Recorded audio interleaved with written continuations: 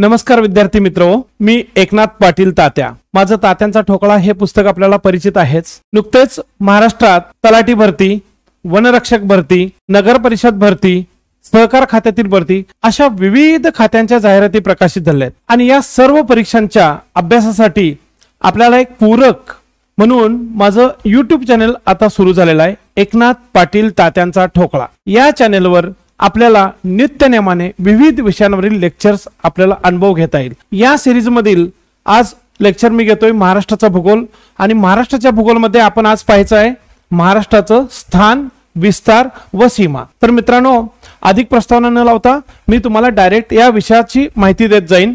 विषय सुरू करण्यापूर्वी एक विनंती आहे आपणा सर्वांना की तात्या म्हटलं का तुम्हाला नक्कीच काहीतरी अपेक्षा असतील. मी तुमच्या शंभर टक्के अपेक्षा पूर्ण करू शकणार नाही परंतु तुमच्यापर्यंत पोहोचण्या तुमच्या अपेक्षांपर्यंत पोहोचण्याचा मी नक्की प्रयत्न करीन. त्यामुळे माझी विनंती राहील की अगदी थोडा वेळ पॉज करून व्हिडिओ पॉज करून तुम्ही वही आणि पेन सोबत घेऊन बसा. आणि त्याच्यात जे काही चांगले प्रश्न मिळतील ते चांगले प्रश्न तुम्ही नोट करा. टी सी एस पॅटर्ननुसार ज्या काय आता परीक्षा घेतल्या जातात त्या सगळ्या परीक्षांसाठी कशा प्रकारचे प्रश्न येतील हे प्र पुढचं माझं प्रत्येक वाक्य प्रत्येक शब्द एक प्रश्न असेल या भावनेनं तुम्ही ऐका त्याचे अपेक्षापूर्ती तुमची करण्याचा मी पूर्ण प्रयत्न करेन. धन्यवाद मित्र. तर आपण सुरुवात करूया महाराष्ट्राचा स्थान विस्तार व सीमा. आता बघा की तुम्हाला सांगतो पहिल्यांदा आपल्याला महाराष्ट्राचं स्थान बघण्यासाठी भारताचं स्थान त्याही आधी मी तुम्हाला थोडक्यात सांगायला आवडेल मला की महाराष्ट्र नेमका कधी स्थापना झाली महाराष्ट्राची? आपण स्थान आणि विस्तार बघण्यापूर्वी महाराष्ट्राची स्थापना कधी झाली बघूयात?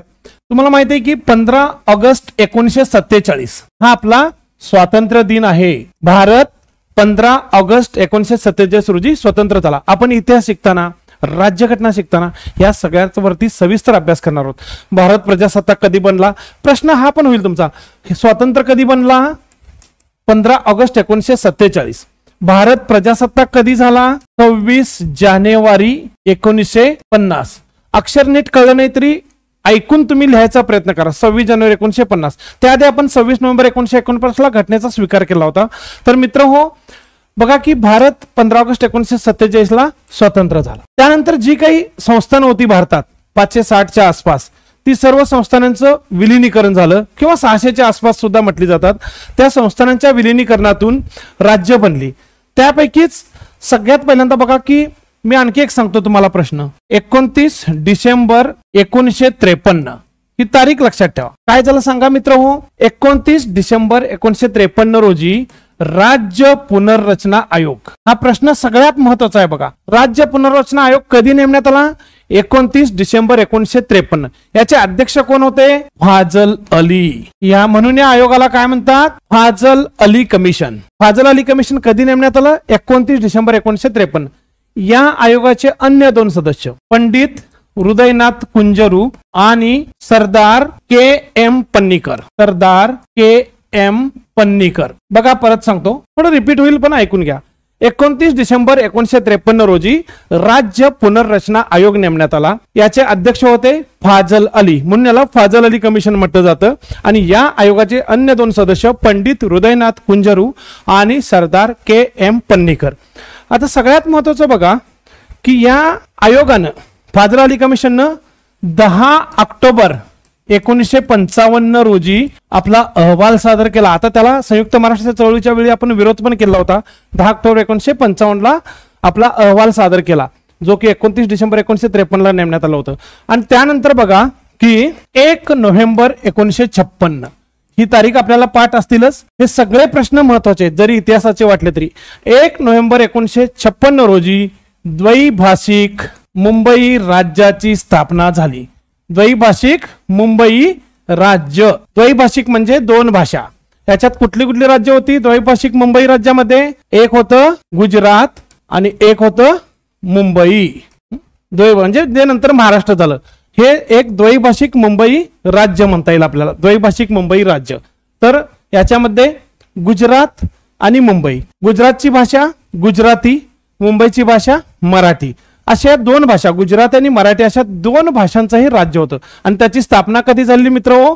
एक नोव्हेंबर एकोणीसशे छप्पन्न रोजी झालेली होती. आणि त्यानंतर बघा की आपण संयुक्त महाराष्ट्राची चळवळ वगैरे केल्यानंतर एक मे एकोणीसशे साठ या दिवशी द्वैभाषिक मुंबई राज्याचं विभाजन होऊन दोन राज्यांची निर्मिती झाली. त्यामध्ये एक आपलं मराठी भाषिक महाराष्ट्र राज्य आणि दुसरं गुजराती भाषिक गुजरात राज्य. अशी दोन राज्य तयार झाली. महाराष्ट्र आणि गुजरात. कशातून? द्वैभाषिक मुंबई राज्यातून. तर महाराष्ट्राचा स्थापना दिन कोणता? एक मे.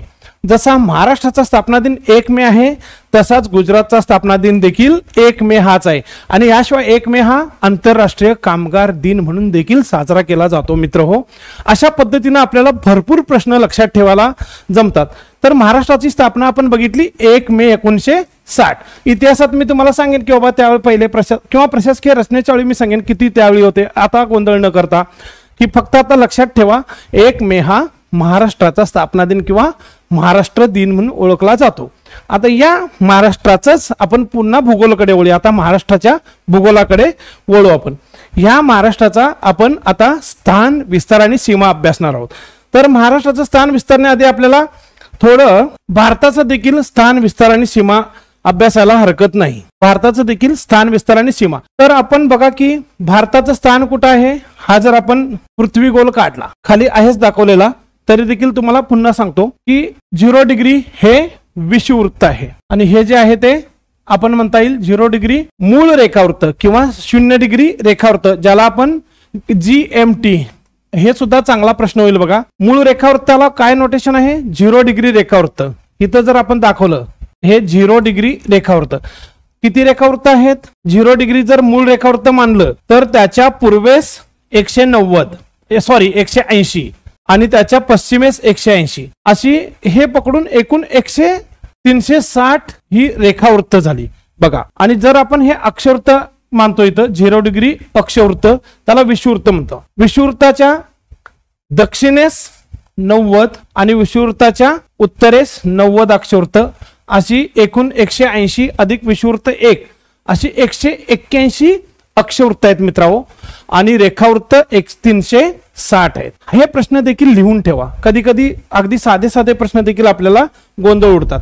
आता आपण भारताचं स्थान आणि विस्तार बघूयात.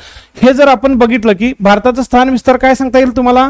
की बघा आठ डिग्री चार मिनिट्स. आठ डिग्री चार मिनिट्स उत्तर अक्षांश ते आठ डिग्री चार सदतीस डिग्री सहा अंश हे उत्तर अक्षांश. इथं तुम्हाला दाखवतो पुन्हा. हे झिरो डिग्री अक्षवृत्त आहे. विषुवृत्त आहे झिरो डिग्री. इथं पंधरा डिग्री दिसतं तुम्हाला. तर साधारणतः आपण कारण भारताचं स्थान कुठं आहे? उत्तर पूर्व गोलार्धात. हे जर पृथ्वी तुम्ही मानली म्हणजे पृथ्वीच आहे पृथ्वी गोल आहे यामध्ये आपण साधारणतः इकडे भारत मी तुम्हाला दाखवीन. उत्तर पूर्व गोलार्धात भारताचं स्थान आहे. भारत हा उत्तर पूर्व गोलार्धात वसलेला आहे. म्हणजे हे जर झिरो डिग्री अक्षवृत्त. त्यानंतर इकडे आपण काढू साडे तेवीस डिग्री. हे कर्कवृत्त. साडे तेवीस डिग्री उत्तर. कर्कवृत्त मकरवृत्त आपल्याला माहिती पाहिजे. कर्कवृत्ताचं नोटेशन काय? साडे तेवीस डिग्री उत्तर. साडे तेवीस डिग्री अक्षवृत्तास टिंबाटिंबा म्हणतात कर्कवृत्त म्हणतात. साडे तेवीस डिग्री दक्षिणा अक्षवृत्तास काय म्हणतात? मकर वृत्त म्हणतात. हे आपल्याला माहिती पाहिजे. तर बघा की हे जर साडे तेवीस तुम्हाला मी दर्शवलं भारताचा विस्तार काय बघितला आपण? आठ डिग्री चार अंश ते सॉरी सदतीस डिग्री सहा अंश. हा भारताचा उत्तर अक्षांश असा अक्षवृत्तीय विस्तार दिसतो. आणि रेखावृत्तीय विस्तार बघा की अडुसष्ट डिग्री सात अंश ते सत्त्याण्णव पॉईंट पंचवीस. अडुसष्ट सात ते सत्त्याण्णव पंचवीस. हा भारताचा पूर्व पश्चिम विस्तार आपल्याला इथं आढळतो बघा. तर हे तुम्हाला याच्यावरून कळेल. तसंच आता जर आपण महाराष्ट्र बघितलं महाराष्ट्र याच्यात जर बघितला महाराष्ट्राचा विस्तार पुन्हा सांगतो. तुम्हाला एकदा भारताचा विस्तार कळला. भारत हा उत्तर पूर्व गोलार्धात वसलेला आहे. त्यानंतर बघा महाराष्ट्राचा विस्तार आपण बघूया. महाराष्ट्राचा विस्तार भारतातच आपल्याला बघता येईल. पंधरा आठ ते बावीस एक उत्तर अक्षांश आणि बहात्तर सहा ते ऐंशी नऊ पूर्व रेखांश हे याचं महाराष्ट्राचं नोटेशन आहे. म्हणजे आपण जर भारताचा विस्तार बघितला भारत हा उत्तर पूर्व गोलार्धात वसला आहे. तसंच महाराष्ट्राचं स्थान जर बघितलं भारतात हा भारत आहे बघा. मी तुम्हाला इथून आठ चार ते सदतीस सहा हे दाखवलं. त्यानंतर अडुसष्ट सात ते सत्त्याण्णव पंचवीस हे तुम्हाला दाखवलं. तुम्हाला वाट जर गरज असेल तर याचा विस्तार देखील तुम्हाला कळू शकतो की भारताचं पश्चिम टोक कोणतं आणखी पूर्व टोक कोणतं? पश्चिमेस गुजरात मधील घुअर मोठा घु अ र मोठा हे भारताचं भारताचे पश्चिम टोक कोणते? घुअर मोठा. गुजरातमधील घु र बघा पुन्हा लिहून दाखवतो. घुअर मोठा. आणि भारताचं पूर्व टोक कोणतं? अरुणाचल प्रदेश मधील अंजाव जिल्ह्यातील की अरुणाचल प्रदेशातील अंजाव जिल्ह्यातील किबिथू. ऐकू येते का मित्र अरुणाचल प्रदेशातील अंजाव जिल्ह्यातील किबिथू. हे भारताचं पूर्व टोक अरुणाचल प्रदेशातील पूर्वेकडील किबितू. म्हणजे सूर्याचं जिथं प्रथम दर्शन होतं ते हे गाव. भारतात सूर्य प्रथम कुठे उगवतो? अरुणाचल. अरुण म्हणजे सूर्य अरुण अचल. अरुणाचा जिथं उदय होतो ते राज्य म्हणजे अरुणाचल प्रदेश. आणि हे भारतातील साधा प्रश्न येईल भारतातील सर्वात पूर्वेकडील राज्य कोणते? तर ते आहे अरुणाचल प्रदेश. आणि या अरुणाचल प्रदेशातील अंजाव जिल्ह्यातील अंजाव. जिल्ह्यातील किबिथू हे गाव भारतातील अतिप्रयोग आणि ते भारताची पूर्वशी मागणली जाते. म्हणजे जे तुम्हाला मी सांगितलं अडुसष्ट सात ते सत्त्याण्णव पंचवीस. सत्त्याण्णव पंचवीस हे नोटेशन या केबितूचं होईल. आणि अडुसष्ट सात जे आहे ते घुवरमोठा गुजरातमधील गुजरात मधील पश्चिम गुजरातच्या पश्चिम टोकाचं घुवरमोठा आता हे झालं भारताचं पूर्व पश्चिम विस्तार. आणि ही लांबी किती आहे मित्र हो? दोन हजार नऊशे तेहतीस किलोमीटर. भारताचा पूर्व पश्चिम विस्तार किती आहे? मी महाराष्ट्राचं घेणार आहे पण त्याआधी थोडंसं भारताचं सांगतोय. दोन हजार नऊशे तेहतीस किलोमीटर. आणि हे जे दक्षिण उत्तर जे आहे तर दक्षिण टोक कोणतं आहे? कन्याकुमारी.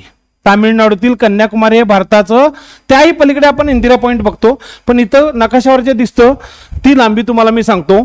दक्षिणेकडे तामिळनाडूतील कन्याकुमारी ते उत्तरेकडे जम्मू काश्मीरचं उत्तर टोक दफदार. दफदार म्हणून आहे बघा. दफदार म्हणजे आठ चार ते सदतीसचा आठ चार हे नोटेशन कन्याकुमारीचं होईल सदतीस आहे दफदार. ही जी लांबी आहे तीन हजार दोनशे चौदा. तीन हजार दोनशे चौदा किलोमीटर हे भारताचा दक्षिण उत्तर विस्तार किंवा दक्षिण उत्तर भारताची दक्षिण उत्तर लांबी किती आहे मित्र हो? तीन हजार दोनशे चौदा किलोमीटर. भारताची पूर्व पश्चिम लांबी किती आहे मित्र हो? दोन हजार नऊशे तेहतीस. हे आकडे तोंडपाठच पाहिजे तुम्हाला. प्रश्न टीसीएस पॅटर्न हे असेच प्रश्न येणार. जसे मी विचारतोय. ते प्रश्न तुम्ही स्वतः लिहायचा प्रयत्न करा. कारण मी वेगळे प्रश्न लिहून दाखवले तर खूप वेळ जाईल. त्यामुळे प्रत्येक वाक्य हे माझं प्रश्न आहे जसं मी पहिल्यांदा सांगितलं. आणि कुठून कुठेही तुम्हाला सांगितलं. पूर्व पश्चिम विस्तार कसा आहे? पश्चिमेकडे गुजरातमधील घोर मोठा आणि पूर्वेकडे अरुणाचल प्रदेशमधील किबिथू. दक्षिणोत्तर विस्तार कसा? दक्षिणेकडे कन्याकुमारी ते उत्तरेकडे जम्मू काश्मीर मधील दफदार. हा झाला दक्षिणोत्तर विस्तार. महाराष्ट्राकडे वळण्याआधी मी थोडक्यात सांगतोय. आता आपण बघाशी बघितलं की हे कर्कवृत्त आता इथं पंधरा डिग्री आहे बघा. याच्यापुढे जर थोडस गेलं तर साडे तेवीस डिग्री. म्हणजे मी तुम्हाला मगाशी इथं दाखवलेलं आहे. साडे तेवीस डिग्री. हे विषुवृत्त झालं. हे साडे तेवीस डिग्री आपण मानू. आणि इथून साधारणतः इकडे भारत आपला जर असा मानला तर भारतातून मध्यातून कर्कवृत्त गेलेलं आहे भारताच्या मध्यातून कोणते अक्षवृत्त गेलेलं आहे मित्र? साडे तेवीस डिग्री अक्षरवृत्त बघा प्रश्न कसे होतात. भारताच्या मध्यातून कोणते अक्षवृत्त गेलेले आहे? साडे तेवीस डिग्री अक्षवृत्त. त्याला काय म्हणून ओळखले जाते? कर्कवृत्त. साडेतीस डिग्री उत्तर बरं का? हे लक्षात घ्या. तर त्याला कर्कवृत्त म्हटलं जातं. आता हे कर्कवृत्त कसं जातं हे बघूया. कर्कवृत्त भारताच्या मध्यातून जातं. किती राज्यातून जातं ते पण आपण बघूया. कर्कवृत्त भारताच्या मध्यातून जातं. मी एक अंदाज म्हणून तुम्हाला काढून दाखवतोय. तुम्ही नकाशा गोल पृथ्वी गोल किंवा नकाशाच्या पुस्तकात हे परफेक्ट बघा म्हणजे तुम्हाला परफेक्ट कळेल. हे साडे तेवीस डिग्री तुर्ताशे महाराष्ट्र बघू नका इकडे. साडे तेवीस डिग्री उत्तर. यालाच काय म्हणतो आपण? कर्क वृत्त आता मी जे काल्पनिक अक्षवृत्त काढलेलं आहे अक्षवृत्तच म्हणतो मी रेषा म्हणू नका त्याला. तर हे आहे साडे कारण विषुवृत्त कुठं येईल? खाली येईल झिरोकडे. तर साडे तेवीस आणि भारत आपलं इथून काय होतं आपलं? आठ चार. बघा. आता इथं तुम्हाला परफेक्ट कळेल. आठ डिग्री चार अंश भारताचं आठ डिग्री चार अंश हे भारताचं दक्षिण टोक झालं. आणि त्याच्याही खाली म्हणजे जरी उत्तर गोलार्धात असला त्याच्याखाली झिरो डिग्री हे काय येईल आपलं? विषुववृत्त. म्हणजे विषुववृत्ताच्या उत्तरेस आणि पूर्वेकडे. भारत भारत हा वसलेला आहे. हे आपल्याला आता मगाशी जो गोल दाखवला तर ह्यावरून तुम्हाला परफेक्ट कळेल. तर आठ चारपासून साडे तेवीस डिग्री जर बघितलं तर हे झालं कर्कवृत्त. आणि इथं हे भारताच्या मध्यातून जातं. भारताच्या मध्यातून आठ राज्यातून जातं. कर्कवृत्त भारताच्या मध्यातून किती राज्यातून जातं? आठ राज्यातून. कोणत्या ते आता आपण बघू. हे झालं गुजरात. इथं बघा गुजरात राजस्थान मध्य प्रदेश सॉरी इथं आलं राजस्थान माफ करा गुजरात राजस्थान मध्य प्रदेश छत्तीसगड झारखंड पश्चिम बंगाल त्रिपुरा मिझोराम.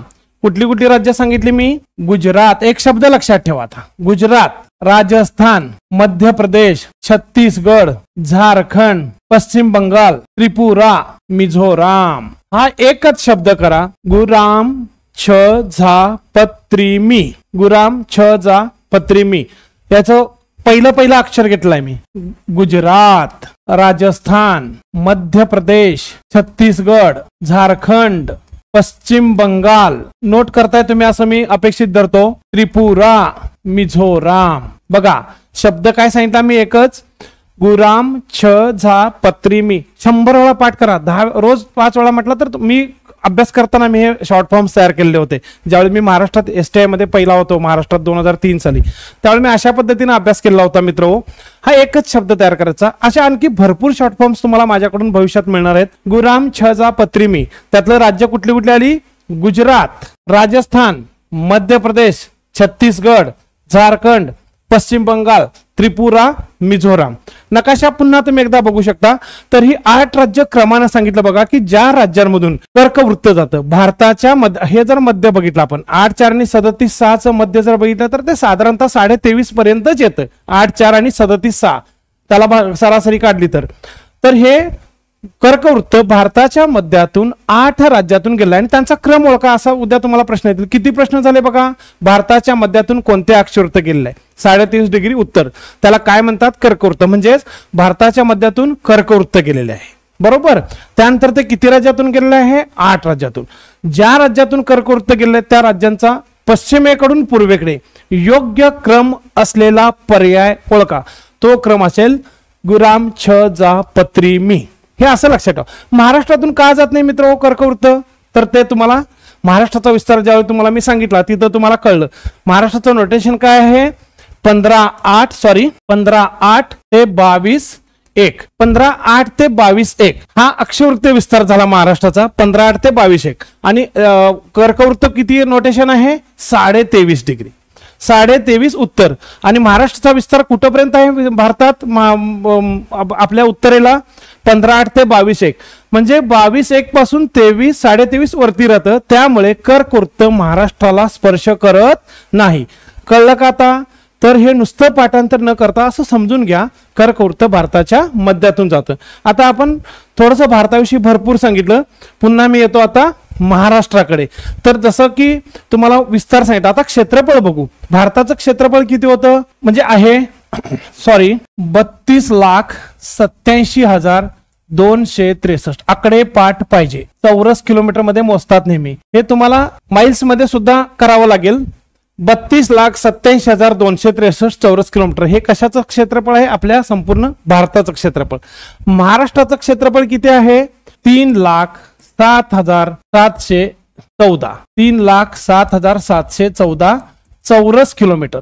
आणि बघा प्रश्न किती होतात बघा. भारताचे क्षेत्रफळ किती चौरस किलोमीटर आहे? बत्तीस लाख किंवा बत्तीस पॉईंट सत्याऐंशी म्हटलं तरी चालतंय दशलक्ष. बत्तीस लाख सत्याऐंशी हजार दोनशे त्रेसष्ट चौरस किलोमीटर. भारताचं क्षेत्रफळ. महाराष्ट्राचं तीन लाख सात हजार सातशे चौदा किलोमीटर. हे झालं आपण क्षेत्रफळाचं. आता प्रमाण बघू. भारताच्या क्षेत्रफळाशी महाराष्ट्राच्या क्षेत्रफळाचे प्रमाण किती आहे? तो आकडा देखील तुम्हाला तोंडपाठ पाहिजे. नऊ पॉईंट बेचाळीस टक्के. महाराष्ट्राचे क्षेत्रफळ हे भारताच्या क्षेत्रफळाशी नऊ पॉईंट बेचाळीस टक्के इतकं आहे. लक्षात आलं का? आता क्षेत्रफळानुसार जगात भारताचा कितवा क्रमांक लागतो मित्र? सातवा क्रमांक लागतो. क्षेत्रफळानुसार भारत जगात सातवा. आता महाराष्ट्र भारतात कितवा लागतो? महाराष्ट्र क्षेत्रफळानुसार भारतात कितवा लागतो? तिसरा लागतो. बरोबर आहे ना? राजस्थान हे सर्वाधिक मोठं क्षेत्रफळाचं राज्य त्यानंतर मध्य प्रदेश आणि तिसरं महाराष्ट्र. लोकसंख्येला आम्ही नंतर येणार आहे. जरी सांगायचं म्हटलं तरी जगात भारत आता एक नंबरला गेलाय मित्रो. आधी कोण होतं? चीन होतं. एप्रिल महिन्यात आपला भारत हा जगात सर्वाधिक लोकसंख्येचा झालेला आहे. त्याचे लेटेस्ट डिटेल्स मी तुम्हाला सांगेन. तर सध्या भारत हा कारण अजून जनगणना आपली झालेली नाही. दोन हजार एकवीसची जनगणना आपली झालेली नव्हती कोविडच्या मुळे तर ते आता सुरू होईल पुन्हा. तर सध्या भारत जगात लोकसंख्येनं पहिला आहे आणि महाराष्ट्र भारतात लोकसंख्येनं दुसऱ्या क्रमांकावर आहे. हे आपण डेमोग्राफिक्समध्ये बघू आपण. सध्या तुम्हाला हे स्थान विस्तार आणि सीमा सांगतोय. आपण स्थान बघितलं विस्तार बघितलं. विस्तारामध्ये आपण क्षेत्रफळ बघितलं. भारताचं क्षेत्रफळ बत्तीस लाख सत्याऐंशी हजार दोनशे त्रेसष्ट चौरस किलोमीटर. महाराष्ट्राचं क्षेत्रफळ तीन लाख सात हजार सातशे चौदा चौरस किलोमीटर. महा हे प्रत्येक प्रश्न लक्षात ठेवा. महाराष्ट्राचं क्षेत्रफळ भारताच्या किती टक्के आहे? भारताच्या क्षेत्रफळाच्या नऊ पॉईंट बेचाळीस टक्के क्षेत्रफळ. महाराष्ट्र क्षेत्रफळानुसार भारतात तिसरा क्रमांक. भारत क्षेत्रफळानुसार जगात सातवा क्रमांक. हे मुद्दे काही आपल्याला लक्षात आले पाहिजेत. आता भारताच्या काही सीमा न सांगता मी भारताचा भूगोल ज्यावेळी शिकवेन त्यावेळी तुम्हाला भारताच्या भूसीमा भारताच्या सागरी सीमा याबद्दल म्हणजे अगदी थोडक्यात सांगतो. हा जर एक शब्द लक्षात ठेवला. बांची पाने म्या भू अ.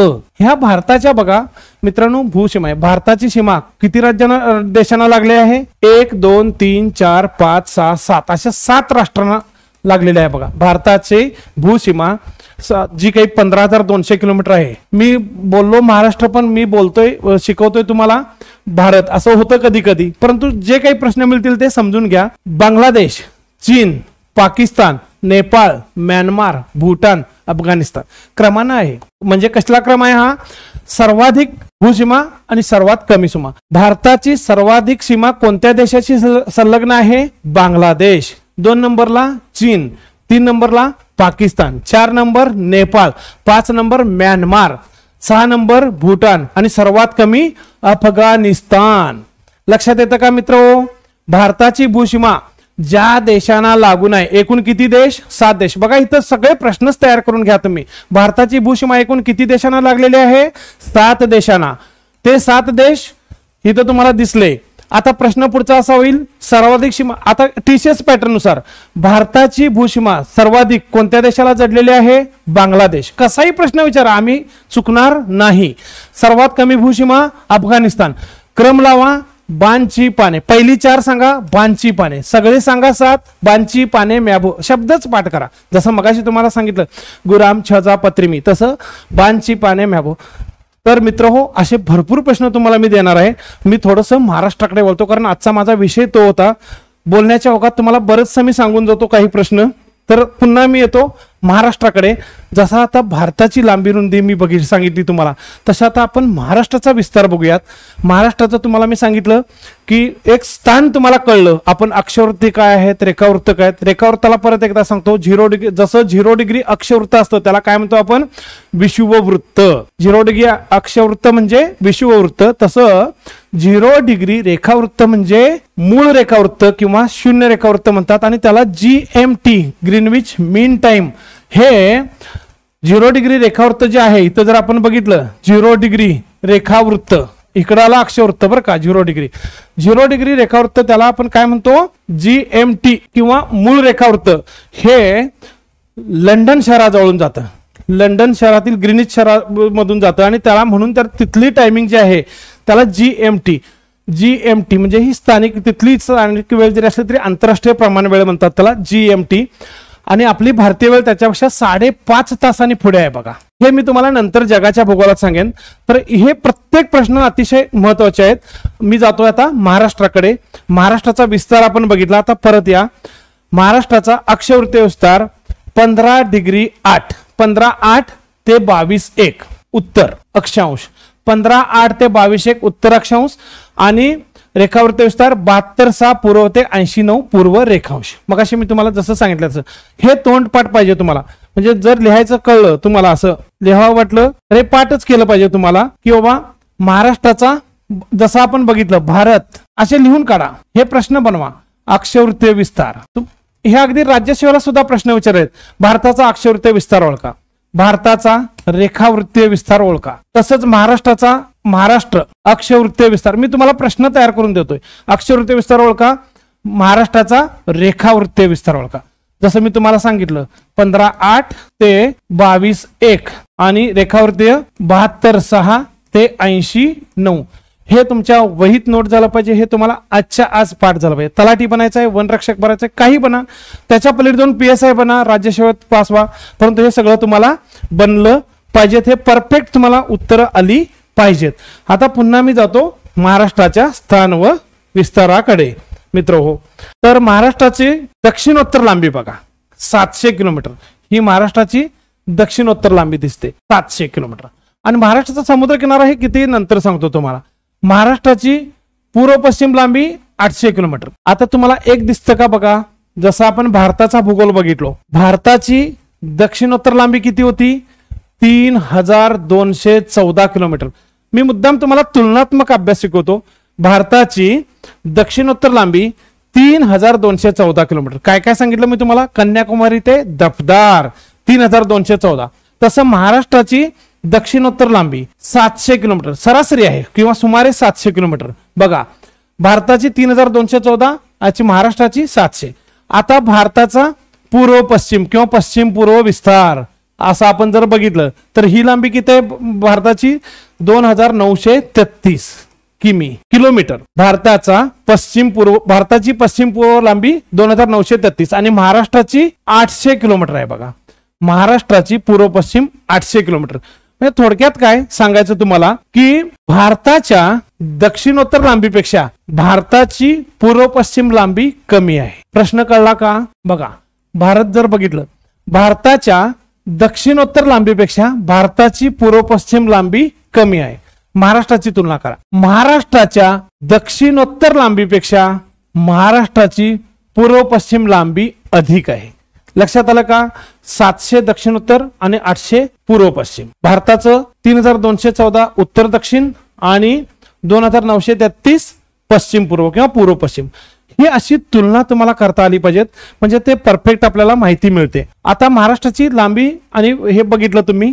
आता त्यानंतर बघूयात क्षेत्रफळ सुद्धा तुम्हाला कळलं.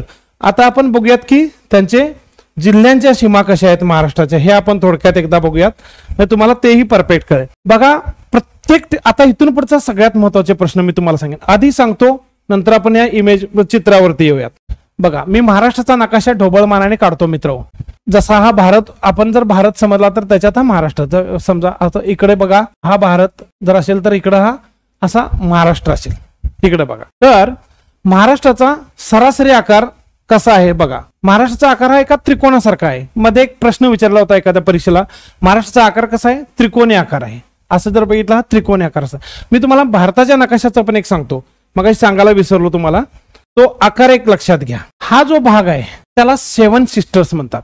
भारताच्या भूगोलात मी सांगेनच. सेवन सिस्टर्स आणि या सेवन सिस्टर्स सात भगिनी नॉर्थ ईस्ट मधील. नॉर्थ ईस्ट म्हणजे ईशान्य भारतातील ही जी सात राज्य आहेत त्यांना सात भगिनी किंवा सेवन सिस्टर्स असं म्हणतात. आणि हे बघा की हा भाग अतिशय चिंचोळा इथं जे असं जोडलेलं आहे बघा किंवा इथं हे इथून जोडलेलं आहे बघा हा अतिशय चिंचोळा भाग आहे. त्याला चिकन स्नेक असं म्हणतात. हेही लक्षात ठेवा. विचारू शकतात उद्या. कारण हा ही परीक्षा अतिशय महत्वाची आहे. टीसीएस पॅटर्ननुसार अतिशय महत्वाची परीक्षा आहे मित्रांनो. तुम्हाला ही माहिती आहे किंवा नाही माहिती नाही माझ्या ठोकळा पुस्तकात आहेच. चिकन स्नेक चिकन स्नेक म्हणजे काय? की भारताची ही भारताची मुख्य भूमी म्हणतात आपली. ही मुख्य भूमी बघा. भारताच्या मुख्य भूमीला ही जी मुख्य भूमी भारताच्या मुख्य भूमीला हे जे सेवन सिस्टर्स जोडले ज्या चिंचोळ्या पट्ट्यानं जोडलेत हा अतिशय चिंचोळा साधारणतः तीस ते पस्तीस किलोमीटर त्याची रुंदी आहे. तर ह्या ज्या चिंचोळ्या पट्ट्याने ह्या सात भगिनी जोडल्यात. त्याला चिकन स्नेक कोंबडीची मान. केवढी असते चिंचोळी? तशी ती चिकन स्नेक असं त्याला म्हटलेलं आहे. हे लक्षात ठेवा चिकन स्नेक काय आहे? हे सेवन सिस्टर्स भारताच्या मुख्यभूमीला जोडलेले आहेत. त्याला चिकन स्नेक म्हणतात. हे मला सांगायचं होतं. त्यानंतर बघा की मित्र आपण पुन्हा नकाशाकडे वळूयात. मी इथं महाराष्ट्राचा नकाशा थोडक्यात काढतो. समजून घ्या ढोबळमानाने आकृती काढली. महाराष्ट्राचा नकाशा. आता आपण क्षेत्रफळ बघितलं त्याचा विस्तार बघितला. महाराष्ट्राचा विस्तार कुठं आहे? महाराष्ट्र हे भारतातील एक प्रमुख राष्ट्र आहे. भारताच्या पश्चिमेस अरबी समुद्राला लागून महाराष्ट्राचं स्थान आहे. भारताचं स्थान जगात कुठे बघितलं आपण? आशिया खंडात उत्तर पूर्व गोलार्धात भारत वसला आहे. आणि भारतात पश्चिमेकडे अरबी समुद्रास लागून महाराष्ट्राचं स्थान आहे. मग आता महाराष्ट्राच्या सीमा थोडक्यात बघूया आपण आजच्या लेक्चरमध्ये बघा की वीस जिल्हे लक्षात ठेवा. महाराष्ट्र आधी आपण राज्य कुठली कुठले आहेत ते बघूयात. त्याच्या दिशांनुसार. जसे आपण ह्या दिशा बघतो बघा पूर्व पश्चिम दक्षिण उत्तर. अग्नेय नैऋत्य वायव्य ईशान्य. ह्या झाल्या दिशा. पूर्व पश्चिम दक्षिण उत्तर अग्नेय नैऋत्य वायव्य ईशान्य. आता महाराष्ट्राच्या सीमा बघूया आपण. अन्य राज्यांच्या तुलनेत किंवा अन्य राज्य महाराष्ट्राच्या कोणत्या दिशेला आहेत? आपण घड्याळाच्या काठ्याच्या दिशेत बघूया. पहिल्यांदा आपण बघूया वायव्य. ही जर वायव्य समजली तर इथं आहे गुजरात राज्य. महाराष्ट्राच्या वायव्यस कोणते राज्य आहे? गुजरात राज्य. सीमा कोणाची लागली हे नंतर बघूयात. मुख्य इमेज सुद्धा मी तुम्हाला दाखवेन. हे कल्पना चित्र समजा. महाराष्ट्राच्या वायव्यस गुजरात राज्य आहे. त्यानंतर येईल उत्तर दिशा. उत्तरेस मध्य प्रदेश महाराष्ट्राच्या उत्तरेस मध्य प्रदेश आहे. त्यानंतर ईशान्येस आणि पूर्वेस छत्तीसगड. महाराष्ट्राच्या ईशान्येस आणि पूर्वेस छत्तीसगड. पूर्वात आपण बघितलंच आपण त्यानंतर असं म्हणता येईल की अग्नेयेस तेलंगणा. अग्नेयस काय आहे? तेलंगणा. दक्षिणेस आहे कर्नाटक आणि गोवा. ही दक्षिण दिशा मानू आपण. कर्नाटक आणि गोवा. आणि पश्चिमेस आहे हा इथं निळ्या रंगाचा पसरला आहे तो हा अरबी समुद्र विशाल जो पसरलेला आहे महाराष्ट्राची पश्चिम सीमा निर्धारित करतो. लक्षात येईल का मित्रांनो? महाराष्ट्राच्या सीमा बघतोय आपण भौगोलिक. कुठली राज्य कोणत्या? वायव्येला गुजरात. गुजरात वायव्येला. उत्तरेला मध्य प्रदेश. ईशान्य पूर्वेला छत्तीसगड. आग्नेयेस तेलंगणा जे की आंध्र प्रदेशातून विभाजित झालेलं होतं. माझ्या वेळी अभ्यास करताना आंध्र प्रदेश होता. आता तुमच्या वेळी तेलंगणा आलेला आहे आग्नेयस. त्यानंतर दक्षिणेस काय आहेत राज्य? कर्नाटक आणि गोवा. हे लक्षात राहील का? किती राज्य झाली? एक दोन तीन चार पाच सहा. प्रश्न लक्षात ठेवा. महाराष्ट्राची सीमा अन्य किती राज्यांना लागून आहे? सहा राज्यांना. त्याशिवाय केंद्रशासित प्रदेश देखील आहे गुजरातच्या बॉर्डरला आता एकच झालाय त्याचा. पहिल्यांदा दोन होते. दादरा नगर हवेली आणि दीव दमन हे दोन वेगळे केंद्रशासित प्रदेश होते. त्याचं आता एकत्रीकरण झाले आहे दादरा नगर हवेली आणि दीव दमन. मी आता दा न दिदा असं लिहिलंय. दादरा नगर हवेली व दीव दमन. हा एकच केंद्रशासित प्रदेश झालाय मित्रांनो. म्हणजे ही एक रचना समजून घ्या. सध्या भारतात किती घटक राज्य आहेत? अठ्ठावीस घटक. थोडं हे क्लीन करतो. सध्या भारतात किती घटक राज्य आहेत? अठ्ठावीस घटक राज्य आणि आठ केंद्रशासित प्रदेश. हा सुद्धा प्रश्न तुम्ही पाठ करा. भारतात प्रशासकीय रचना काय आहे? भारतात घटक राज्य किती? अठ्ठावीस. आणि केंद्रशासित प्रदेश आठ. अठ्ठावीस आणि आठ. अगोदर किती होते? एकोणतीस घटक राज्ये आणि सात केंद्रशासित प्रदेश. ह्या तारखा विचारतील तुम्हाला पहिलं विचारतील नंतरचं विचारतील. एमपीएससी आणि टीसीएस काही वेगळं नाही काठिण्य पातळी बऱ्यापैकी तीच राहणार आहे मित्रो. तर पहिल्यांदा एकोणतीस घटक राज्य होती आणि नंतर त्या त्याचबरोबर सात केंद्रशासित प्रदेश होते. नंतर बघा की जम्मू काश्मीर राज्याचं विभाजन झालं आपण सर्वांना माहिती आहे. त्यामुळे काय झालं? जम्मू काश्मीर राज्याचा दर्जा केल्यामुळे घटक राज्य किती झाली? अठ्ठावीस. मात्र जम्मू काश्मीरचं विभाजन दोन केंद्रशासित प्रदेशात झालं. त्यामुळे केंद्रशासित प्रदेश किती झाले? नऊ. अठ्ठावीस आणि नऊ. अठ्ठावीस राज्ये आणि नऊ केंद्रशासित प्रदेश अशी आपली रचना होती. परंतु दोन हजार वीसच्या दरम्यान दादरा नगर हवेली आणि दीव दमन या दोन केंद्रशासित प्रदेशांचं एकत्रीकरण झालं. त्यामुळे केंद्रशासित प्रदेश बनले आठ. म्हणून सध्या भारताची प्रशासकीय रचना आज घडीला जुलै दोन हजार तेवीसमध्ये अठ्ठावीस घटक राज्य आणि आठ केंद्रशासित उद्या कुठलं नवीन राज्य असते होतील कुठलं तरी नवीन केंद्रशासित प्रदेश होईल त्यावेळेचं त्यावेळी बघू आपण. आजचं लक्षात ठेवा तुम्हाला टीशर्ट विचारणार की आज राज भारतात टिंबाटिंबा घटक राज्य व टिंबाटिंबा केंद्रशासित प्रदेश त्याला युनियन टेरिटरीज टेरिटोरीज म्हणतो आपण. तर अठ्ठावीस घटक राज्य आणि आठ केंद्रशासित प्रदेश सध्या आहेत बघा. तर हे लक्षात घ्या. त्यापैकीच एक महाराष्ट्र. आपण बघितलं पुन्हा येतो. तर याच महाराष्ट्राच्या प्रशासकीय सीमा आपण बघितल्या भौगोलिक सीमा. त्या किती घटक राज्यांना लागून आहेत? सहा घटक राज्यांना लागून आहेत महाराष्ट्राच्या सीमा. आता आपण बघू की सर्वात जास्त सीमा कशाला लागून आहे? मध्य प्रदेश. मध्य प्रदेश या राज्यास सर्वात जास्त सीमा आणि गोवा राज्यात सर्वात कमी. लक्षात घ्या हे दोन प्रश्न. महाराष्ट्राची सर्वाधिक सीमा कोणत्या राज्यास लागून आहे? मध्य प्रदेश. महाराष्ट्राची सर्वात कमी सीमा कोणत्या राज्यास लागून आहे? गोवा. लक्षात राहील का? इकडं होता आपला कर्नाटक इथं होता आपला तेलंगणा. आता इकडचं मी काढतो. तेलंगणा इकडं आहे गुजरात इकडं आहे छत्तीसगड. थोडक्यात थोडक्यात तुम्हाला मी सांगत जातो एकूण सहा राज्य. बघा आता प्रश्न कसे तयार करूयात? महाराष्ट्राची भौगोलिक सीमा किती घटक राज्यांची संलग्न आहे? सहा. त्या राज्यांची नावं काय? गुजरात मध्य प्रदेश छत्तीसगड तेलंगणा. कर्नाटक गोवा आणि त्याशिवाय एक केंद्रशासित प्रदेश दादरा नगर हवेली आणि दीव दमन म्हणजे एक लक्षात घ्या की कोणत्या राज्याला सीमा लागल्याने असा आपण प्रश्न आपण उलट करायचं. ही जर सहा राज्य तुम्हाला पाठच जर असतील तर त्याच्यात बदल म्हणून विचारतील टीसीएसला. लक्षात घ्या नीट लक्षात घ्या की महाराष्ट्राची भौगोलिक सीमा खालीलपैकी कोणत्या राज्याशी संलग्न नाही. हा प्रश्न विचारतील. आपण पाठ काय करणार हे? त्यामुळे तुम्हाला नावं पाठ पाहिजेत. तुम्ही फक्त सहा राज्य म्हणायचं नाही राज्य पाठ पाहिजेत. असा प्रश्न येऊ शकतो मित्र. आता जिल्ह्यांची सीमा कशी आहे बघा.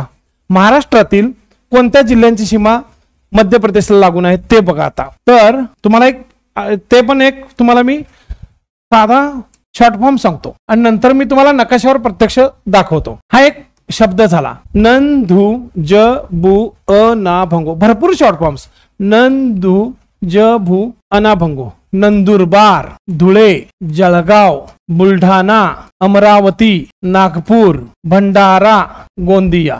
बघा एक दोन तीन चार पाच सहा सात आठ. मी असं इथं लिहितो मध्य प्रदेश आठ असं लिहितो. मध्य प्रदेश आठ असं लिहितो.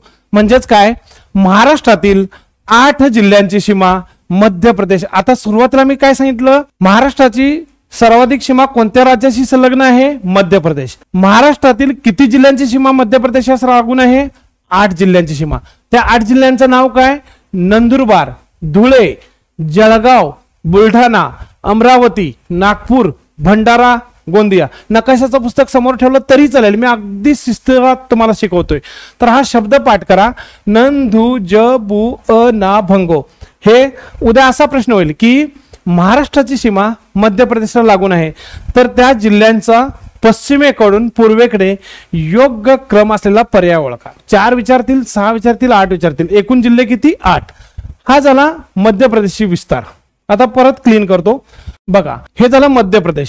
त्यानंतर आपण ईशान्येकडे बघितलं की छत्तीसगड राज्यास. छत्तीसगड राज्यास कोणत्या राज्य जिल्ह्यांची सीमा लागून होती? गोंदिया आणि गडचिरोली. ह्या दोन जिल्ह्यांची सीमा छत्तीसगड राज्यास.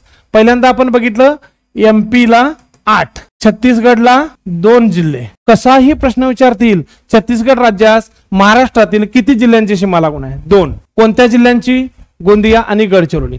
आता इकडे आला बघा तेलंगणा. आग्नेयस. तेलंगणा इकडे जे आहेत आपण असं समजू की इथून तेलंगणा आहे. गडचिरोली चंद्रपूर यवतमाळ नांदेड.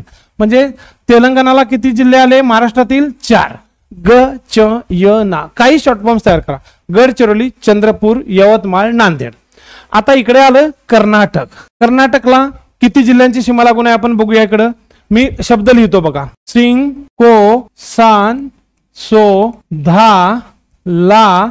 आणि हे ना मी इथं घेतो पुन्हा एकदा जरा. तुम्हाला माहितीसाठी. एकच शब्द. सिंग को सान सो धा ला. ना. एक दोन तीन चार पाच सहा सात. कर्नाटकला किती जिल्ह्यांची सीमा लागून आहे मित्र हो? सात. हे सगळे प्रश्न आहेत. कुठल्या कुठल्या जिल्ह्यांची सीमा? सिंधुदुर्ग कोल्हापूर. नकाशा आहे ना समोर? सिंधुदुर्ग कोल्हापूर सांगली सोलापूर धाराशिव लातूर नांदेड. धाराशिव म्हणजे आपला जुना उस्मानाबाद. तर या सात जिल्ह्यांची सीमा कर्नाटकला लागून आहे. त्यानंतर बघा म्हणजे हे शॉर्ट फॉर्म्स लक्षात ठेवा. आणि सिंधुदुर्ग या जिल्ह्याची एकमेव जिल्ह्याची सीमा गोवा या राज्याला लागून आहे बघा. गोवा एक. बघा कसं मी असे जोड्या जुळवा सुद्धा देतील तुम्हाला? काही प्रश्न विचारू शकतात मित्र यासाठी तुम्हाला मी हे कोष्टक देतोय. एका बाजूला राज्य देतील राज्यांची यादी. दुसऱ्या बाजूला महाराष्ट्रातील जिल्ह्यांची संख्या की ज्यांची सीमा या राज्यांची संलग्न आहे. मध्य प्रदेश आठ छत्तीसगड दोन तेलंगणा चार कर्नाटक सात गोवा एक आणि आता राहिलं गुजरात चार इथं आधी लिहितो आणि तुम्हाला सांगतो. गुजरात चार म्हणजे कुठले कुठले येतील ते? बघा इकडं. नंदुरबार धुळे त्यानंतर ठाणे आणि पालघर. नंदुरबार धुळे ठाणे आणि पालघर. नंदुरबार धुळे ठाणे आणि पालघर. या चार जिल्ह्यांची सीमा गुजरात या राज्यांशी संलग्न आहे. म्हणजे असं कसे कितीही प्रश्न तयार करा की महाराष्ट्रातील प्रत्येकी चार जिल्ह्यांची सीमा ज्या दोन राज्यांना लागून आहे त्यांची नावं ओळखा. तेलंगणा आणि गुजरात. एकमेव जिल्ह्याची सीमा लागून असलेले राज्य कोणते? गोवा. सर्वाधिक आठ जिल्ह्यांची सीमा लागून असलेले राज्य कोणते? मध्य प्रदेश. सात जिल्ह्यांची सीमा कर्नाटक. दोन जिल्ह्यांची सीमा छत्तीसगड. आणि एकमेव केंद्रशासित प्रदेश ज्याला महाराष्ट्राची सीमा लागून आहे तो म्हणजे दादरा नगर हवेली आणि दीव दमन. तर मित्र हो हे लक्षात घ्या तुम्हाला थोडक्यात सांगितलं मी. आता वेगळा प्रश्न. हे जे जिल्हे मी सांगितले त्यांची संख्या तुम्ही लक्षात ठेवा. वीस जिल्हे. मी मुख्य नकाशावर तुम्हाला एकदा दाखवीन शेवटी जाताना. महाराष्ट्रातील किती जिल्ह्यांची सीमा अन्य सहा राज्यांना लागून आहे? प्रश्न नीट लक्षात घ्या. महाराष्ट्रातील किती जिल्ह्यांची सीमा? भारतातील अन्य राज्यांशी संलग्न आहे. किंवा अन्य किती राज्यांशी संलग्न आहे? सहा.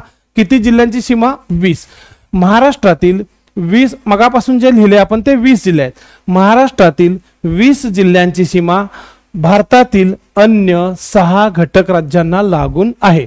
म्हणजे आता प्रश्न असा वेगळा विचारतील की महाराष्ट्रातील किती जिल्ह्यांची सीमा भारतातील अन्य राज्यांशी संलग्न नाही? प्रश्न नीट कळला का? किती जिल्ह्यांची सीमा? महाराष्ट्र आता मी तुम्हाला जे कडेनं दाखवलं सगळीकडून या बॉर्डरला ते झाले वीस जिल्हे. एकूण महाराष्ट्रातील जिल्हे किती? प्रशासकीय रचना आपण बघणार आहोत. सहा प्रशासकीय विभागात म्हणून छत्तीस जिल्हे आहेत महाराष्ट्रात. छत्तीस जिल्हे. त्यापैकी वीस जिल्ह्यांची सीमा कोणत्या ना कोणत्या म्हणजे एकूण सहा राज्यांना लागून आहे म्हणजेच महाराष्ट्रातील किती जिल्ह्यांची सीमा लागून असणार नाही मित्रांनो आता सांगा. छत्तीस वजा वीस बरोबर सोळा.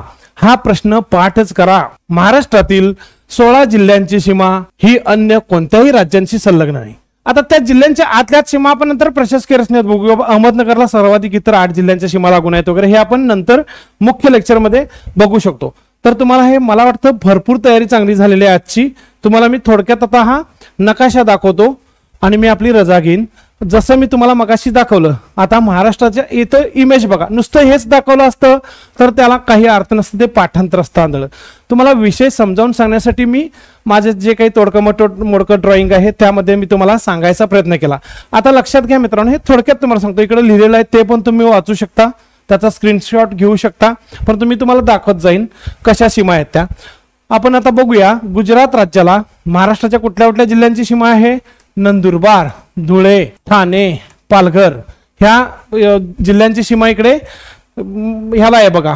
गुजरात सॉरी गुजरातला. आता आपण बघूया की ह्याला कुठल्या कुठल्या जिल्ह्यांची सीमा आहे? मध्य प्रदेशला नंदुरबार धुळे जळगाव बुलढाणा अमरावती नागपूर भंडारा गोंदिया. मी शब्द काय सांगितला तुम्हाला?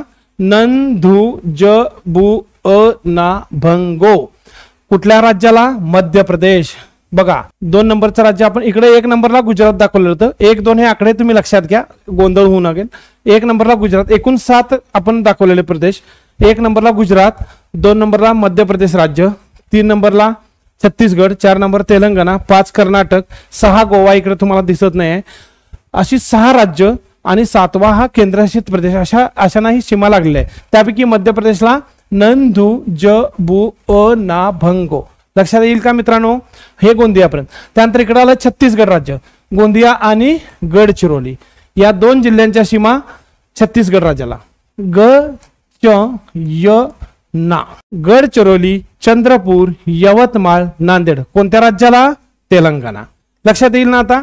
आता मी तुम्हाला इकडून सांगतो बघा. सिंधुदुर्ग सिंग कोल्हापूर सांगली सोलापूर धाराशिव लातूर नांदेड. सिंग को सान सो धा ला ना. मगाशी तुम्ही लिहिलेला शब्द असणार तुमच्याकडे. सिंग जसं आपण नंदू जपू बघितलं तसं सिंग को सान सो धा ला ना. हा शब्द तोंडपाठच करा. सिंधुदुर्ग कोल्हापूर सांगली सोलापूर धाराशिव लातूर नांदेड. ह्या सात जिल्ह्यांची सीमा कर्नाटक राज्यास. आणि सिंधुदुर्ग या एकमेव जिल्ह्यास जिल्ह्याची सीमा कर गोवा या राज्यात जोडल्या लक्षात घ्या गोवा या राज्यास सिंधुदुर्ग या जिल्ह्याची सीमा जोडलेली आहे. आणि गुजरात तुम्हाला दाखवलं नंदुरबार धुळे त्यानंतर पालघर ठाणे या चार राज्य जिल्ह्यांची सीमा गुजरातला जोडले लक्षात येईल का तुम्हाला? एकावन्न अधिक जिल्ह्यांची कॉमन सीमा कशा कशाला आहे? नंदुरबार आणि धुळे या दोन जिल्ह्यांची सीमा आता लिहून दाखवत नाही. नंदुरबार आणि धुळे या दोन जिल्ह्यांची सीमा गुजरात जसं राज्यास लागले तसंच मध्य प्रदेश. हे दोन जिल्हे असे आहेत की दोन्ही राज्यांना आहेत. नंदुरबार धुळे गुजरात आणि मध्य प्रदेश. गोंदिया कुठल्या कुठल्या जिल्ह्याला आहे राज्याला आहे गोंदियाची सीमा मध्य प्रदेश आणि छत्तीसगड. गडचिरोली छत्तीसगड आणि तेलंगणा. त्यानंतर नांदेड तेलंगणा आणि कर्नाटक. असं तुम्हाला थोडक्यात माहिती पाहिजे मित्र की एकाच जिल्ह्याची सीमा दोन राज्यांना लागून असलेले. हे आपल्याला म्हणजे सीमावर्ती प्रदेशात जे जिल्हे असतात ते आपल्याला माहिती पाहिजेत. तर हे इकडं आपल्याला राजकीय सीमा तुम्हाला मी दिल्या होत्या. जशा की तुम्हाला खूप चांगलं सांगितलं. तर हे वीस जिल्हे झाले बघा. महाराष्ट्रातील हे जे आता मोजले आपण हे वीस जिल्ह्यांच्या सीमा सहा राज्यांशी संलग्न आहेत आणि एका केंद्रशासित प्रदेशाशी. आणि हे जे उरलेले आहेत जिल्हे हे सोळा आहेत बघा की ज्यांच्या सीमा कोणत्याही राज्यांशी संलग्न नाहीत. तर आज तुम्हाला इतकं सुंदर आता मी शिकवलेलं आहे बघा. की तुम्हाला यापेक्षा खूप सुंदर माहिती मी पुढच्या लेक्चरमध्ये देईन. प्रशासकीय रचनेत तुर्तास मी मला वाटतं इतकं आपल्याला माहिती खूप चांगली झालेली आहे. नुकतंच बघा तुम्हाला यापेक्षाही सुंदर माहिती मी हा लेक्चर तुम्हाला आवडला असं समजायला मला हरकत नाही. नुकतंच माझा तात्यांचा ठोकळा आपल्या टी सी एस पॅटर्ननुसार ज्या काही परीक्षा होणार आहेत त्या सगळ्यासाठी अतिशय उपयुक्त पुस्तक आहे. या याची मी जाहिरात कधीच करत नाही कुठल्या पेपरमध्ये सुद्धा तुम्ही बघितलं नाही. मी फक्त विद्यार्थ्यांसाठी कोल्हापूरसारख्या एका कोपऱ्यात बसून हे महाराष्ट्रभर हे काम करत असतो आणि ते तुमच्यापर्यंत पोहोचत असतं. मी तुम्हाला अपील यासाठी करतोय की हे पुस्तक तुम्ही माझ्यासाठी नको मी समृद्ध आहे. तुमच्या ज्ञानात भर करण्यासाठी हे पुस्तक अतिशय महत्वाचं आहे. एकतीसवी आवृत्ती याची नुकतंच प्रकाशित झाले तात्यांचा ठोकळा. आणि यावरती एक हा क्यू आर कोड दिसतो बघा. हा क्यू आर कोड तुम्ही स्कॅन करा. जे आता तुम्ही बघितलं लेक्चर म्हणजे एकनाथ पाटील तात्यांचा ठोकळा युट्यूब चॅनल असेल तर या स्कॅनरवरून तुम्ही एक एमपीएससी बाय एकनाथ पाटील तात्या. हे माझं ऍप सुरू केलेलं आहे नवीन. ह्या ऍपवर तुम्हाला दररोज भरपूर परीक्षाभिमुख माहिती मिळणार मित्रो. म्हणजे रोजच्याच मी आता सुरुवातच करतोय. चालू घडामोडी असतील किंवा डेली हँड्स असतील जे जे तुम्हाला परीक्षेसाठी उपयुक्त असेल ते मी देण्याचा शंभर मलाही काही मर्यादा आहेत. माझ्या हातात जादूची छडी नाही हे मलाही माहिती आहे. तरी देखील तुमच्या यशासाठी मला जितकं काही शक्य आहे तितकं मी करण्याचा या ॲपच्या माध्यमातून करण्याचा प्रयत्न करतोय मित्रो. आणखी सुरुवात आता तो बघताय तुम्ही सगळ्या जाहिराती तलाटे आहेत वनरक्षक भरती आहे. ह्या सगळ्यांसाठी मी ऑनलाईन टेस्ट सिरीज सुरू केलेल्या आहेत. या ॲपवर तुम्हाला फ्री टेस्ट जशा आहेत तसा पेड कोर्सेसमध्ये काही चांगल्या टेस्ट जे की टीचर्स जशा टेस्ट घेणार आहेत त्यामध्ये मराठी व्याकरण त्यानंतर गणित बुद्धिमापन चालू घडामोडी आणि जनरल स्टडीज जी केचे ह्या सगळ्याचे तुम्हाला टेस्ट सिरीज उपलब्ध आहे त्याच्यावरती. ते कोर्सेस सुद्धा तुम्ही सोडवायचा प्रयत्न करा. त्याशिवाय माझं टेलिग्राम चॅनेल आहे एकनाथ पाटील तात्यांचा ठोकळा हे टेलिग्राम चॅनेल आहे. ते चॅनेल देखील तुम्ही सबस्क्राईब करा. त्यामध्ये मी रोजचे करंट अफेअर्सचे प्रश्न देतोय. ते तुम्ही सोडवायचा प्रयत्न करा. तुमच्या यशात जितका म्हणून हातभार लावता येईल तेवढा मी लावायचा प्रयत्न करीन मित्र हो. आता समारोपाकडे वळताना मी इतकंच सांगेन की तुम्ही माझं एकनाथ पाटील तात्यांचा ठोकळा हे यूट्यूब चॅनेल सबस्क्राईब करा आपल्या मित्रांनाही सांगा आणि खूप सुंदर अभ्यास करा. पास व्हा तलाठी व्हा वनरक्षक भरती व्हा पण त्याही पलीकडे राज्यसेवेचा अभ्यास करण्यास विसरू नका. दोन हजार पंचवीसपासून मी तुमच्यासोबत आहे. कुठल्याही एका ऑप्शनल सब्जेक्टसाठी तोपर्यंत पुढच्या पुन्हा लवकरच भेटू आपण पुढच्या एका चांगल्या लेक्चरमध्ये धन्यवाद मित्र.